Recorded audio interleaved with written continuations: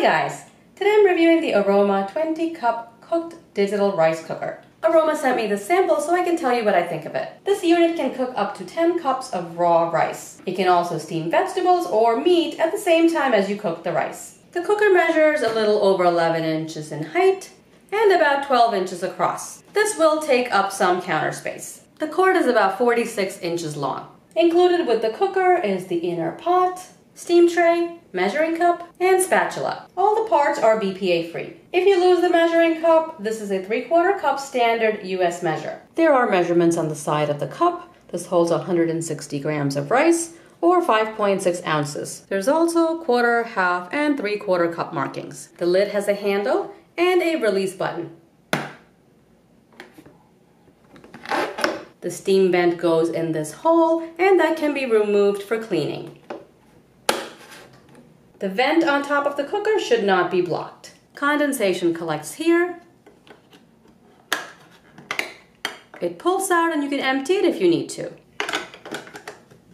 The control panel shows the functions you can use. There's white rice. With the brown rice function, you can cook quinoa and other grains that need a longer time to cook. A steam function, slow cook function. You can set the time from 2 to 10 hours to make stews or anything else that you want to use a slow cook function for. Remember not to use the included spatula for slow cooking. It can't withstand high heat. The flash rice function cooks rice about 10 minutes faster than the white rice function. With the delay timer, you can pour water and rice in the pot and use the plus and minus buttons to set the time to start cooking. And there is the keep warm function. When the unit finishes cooking rice, it automatically switches to keep warm. The keep warm function should not be used for longer than 12 hours. This is the on-off button to turn the unit on and off. Before using, make sure to wash the condensation collector, the steam vent inside the lid, the steam tray, cup, spatula, and inner pot. You can wash all the parts in warm soapy water or on the top rack of your dishwasher. Of course, don't wash the cooker itself, just wipe it down with a damp cloth. Dry all the parts and make sure to put the steam vent back into the lid and also the condensation collector. Make sure that the inner pot is dry on the outside. You don't want any wetness to touch the inside of the cooker. Inside the inner pot, you'll see the water line that matches up with the amount of rice that you're using. So if you're measuring out 8 cups of rice in the included measuring cup, you would fill water up to the line marked next to the 8. The instruction manual lists the cups of rice, cooking times, and yields. There's also a steam table for meat and vegetables. A few recipes are included in the manual. Here I have measured out 5 cups of long grain basmati rice using the included measuring cup. Always rinse your rice before you use it. Put the rice in the pot, put water over it, and just move it around.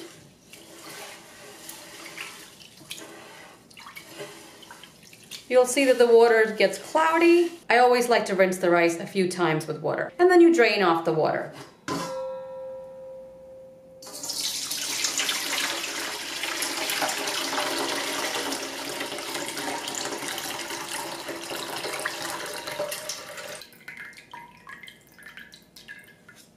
You can of course use a strainer if you're not used to doing it by hand. Washing the rice this way gets rid of any impurities in the rice and some of the starch. The rice tends to be softer and fluffier. Just put the pot over a cloth and make sure the bottom and outside are dry. Now I'll fill water up to the 5 line. From reviewing a lot of rice cookers, I've found that if you fill a tiny bit over the line, your rice will come out very moist. So that's what I'm gonna do here also. I'll go up to the 5 line and fill it a tiny bit above. Sometimes rice cookers will tend to dry out the rice if you just fill it up to the line.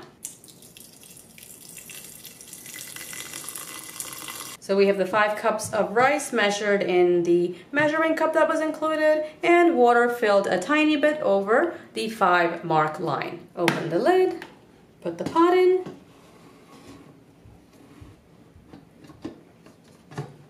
Now what I'm gonna do is steam some carrots the same time as the rice is cooking. So I'll put the carrots on the steam tray. This is eight medium carrots cut up into chunks, about one pound or 450 grams. When you're cooking rice and steaming something else at the same time, the maximum amount of rice you can cook is eight cups of raw rice. And you can steam at any point during the rice cooking period. But the best thing to do is to steam towards the end of the cycle. So the vegetables and rice will be done at the same time and both will be hot.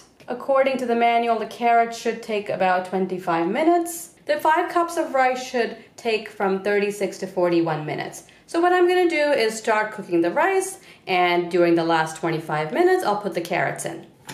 We'll close the lid, plug in the unit, press the on button, and press white rice.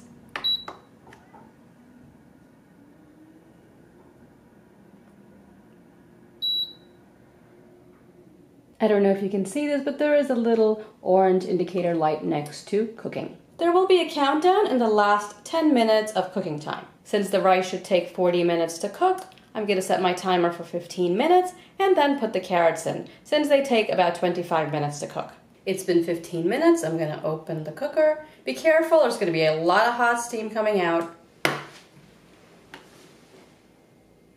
And I'll put in the carrots.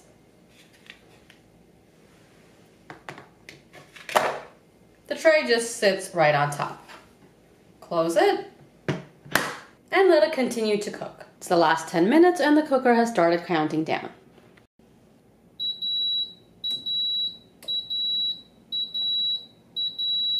Those are the beeps to indicate the rice is finished cooking. That took 37 minutes and the keep warm light is on, the unit automatically goes into keep warm mode once the rice is finished cooking. And during this mode, the display will show how many hours it's been on keep warm. Turn the unit to off and unplug when you're finished. It's best to take out steamed food right away. I'll turn the unit to off, open the lid. Now I wish the steam basket had a handle so it would be easier to pull out, but you're gonna have to use an oven mitt or tongs. The carrots are definitely cooked. They're nice and tender. I think the carrots could even just be cooked for 20 minutes. These are very well done. I'll take the tray out.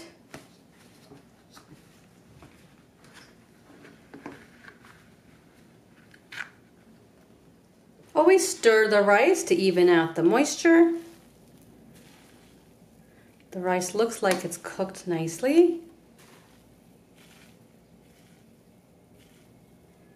Check the bottom.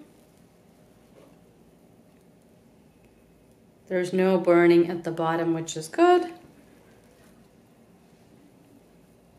There's a tiny bit of crusting starting to happen. I'll taste it. You can see it's cooked.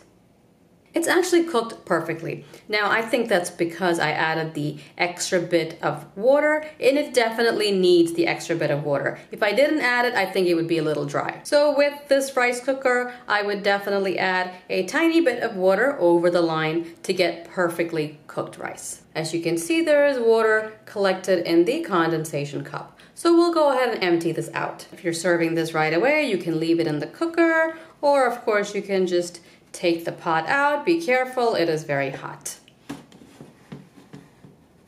This is the bottom of the pot after I've taken all the rice out. Nothing has stuck. Since the pot is non-stick, make sure you don't use any metal utensils. You don't want to scratch the coating. It's very easy to wash out the plastic tray, but brightly colored vegetables like carrots will stain it. You can get the stains out with some lemon juice. Next, I'll try out the slow cook function. In the inner pot, I have six boneless, skinless chicken thighs. This is about one and a half pounds. Here I have a third a cup of fresh lemon juice. To this, I'll add two tablespoons of apple cider vinegar, teaspoon of salt, and a good teaspoon of dried Italian seasoning. I also have one yellow onion chopped small and three garlic cloves sliced. Mix this up. The onions and garlic in. Pour in the lemon juice mixture.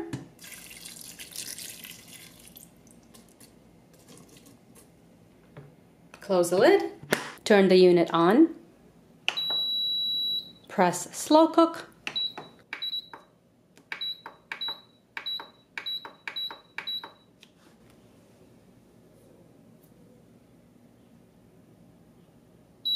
We'll slow cook the chicken for four hours. You can use this as a four quart slow cooker. During the last hour of cooking, the timer will count down in minutes. The outside of the unit is a little warm to the touch, but not hot.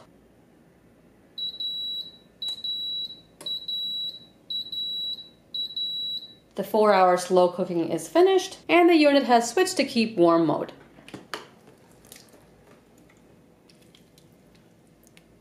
The thighs look very moist. Smells really good. The onions and garlic still hold their shape. They're tender, but they have not fallen apart. And you can see there's plenty of liquid in the pot. We only added the third a cup of lemon juice and two tablespoons of apple cider vinegar. So you don't need to add any additional water if you're just cooking meat like this. Let me go ahead and taste a piece. The meat is so soft, flavorful, juicy, absolutely delicious. This meat is great shredded in tacos, enchiladas, over rice, sandwiches, wraps, pretty much anything. So you saw how the aroma performed on cooking rice, steaming vegetables, and chicken on the slow cook function. You can make rice, meat, and vegetables at one time, which is very convenient. Since this unit makes up to 20 cups of rice and takes up some space, it's best suited for larger families. If you want to try out this aroma, I've put a link in the description below. Share this video if you found it useful. Subscribe for more reviews of products you use every day, and I'll see you next time. Thanks for watching.